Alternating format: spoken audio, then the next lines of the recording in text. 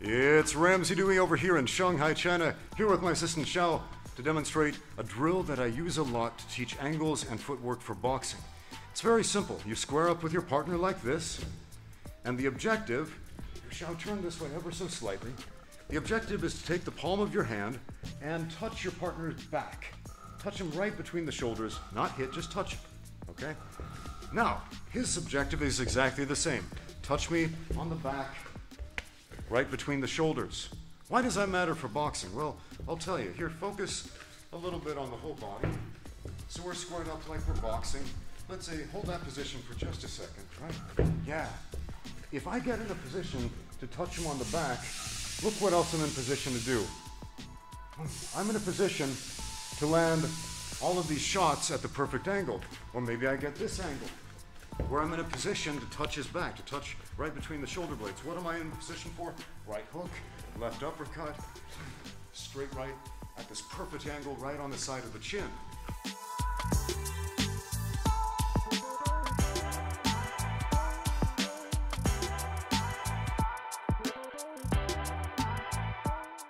You'll notice right away, as soon as we start this drill, here, play with me a little bit, touching the back.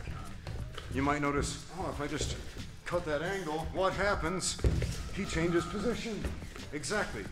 He's done this before, he's gonna square up, right? He's southpaw, I'm orthodox. So we gotta use some fake, some feints. Maybe I'll show him the back. I'll go under there. Right, you can work your bobbing and weaving into this as well.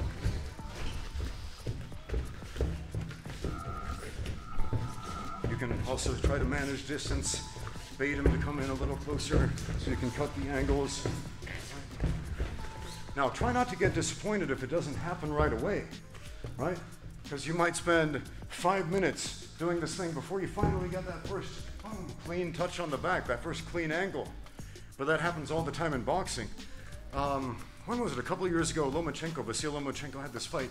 He went I think it was a 12 round fight, maybe, maybe 11, but it was a long fight. It was like 30 minutes of boxing before Lomachenko finally got that perfect angle and you know, right down the center line, or right off the center line, I should say. And everybody fixated on that highlight reel moment, that last 10 seconds of glory, ignoring the 30, 30 minutes of work that led up to that. So, again, I like to do this drill in the gym. Here, play with me a little bit more, because it teaches some very important principles. Always squaring up with your opponent if he gets an angle on you, while trying to make an angle on him, right? It'll teach you how to use footwork patterns, your pivots, right? Your fakes, your feints more efficiently.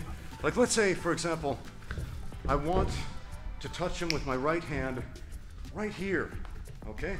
But I move over here, like, here it's coming, Xiao, here it's coming. Oh, he won't give it to me. Okay?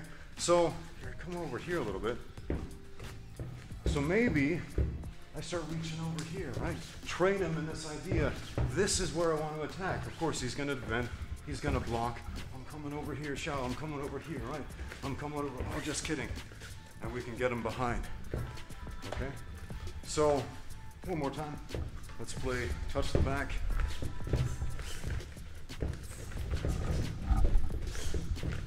So again, this is a, I think you got me right there.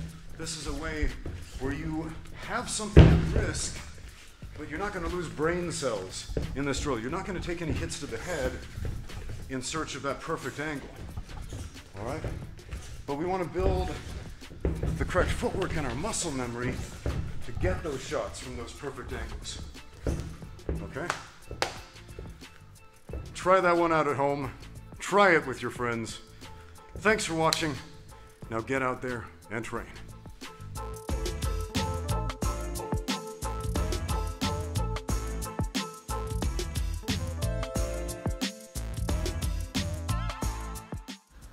If you like the gear I wear in my videos, go check out nogibjjgear.com.